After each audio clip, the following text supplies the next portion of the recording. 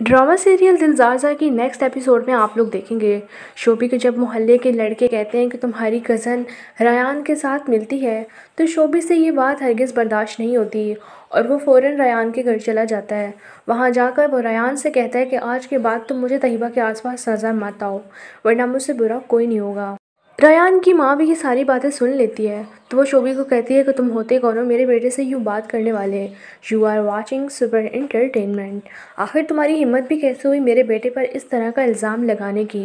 तो शोभी कहता है, मैं कोई इल्ज़ाम नहीं लगा रहा। किस तरह की माँ हैं आप? सारे मोहल्ले को पता है कि आपका बेटा मेरी कज़न के पीछे पड़ा है और आप माँ होकर ये सब कुछ जान नहीं सकी। अपने बेटे को कहें कि अपने आप को रोक के रखें तैयबा के पास मत जाए।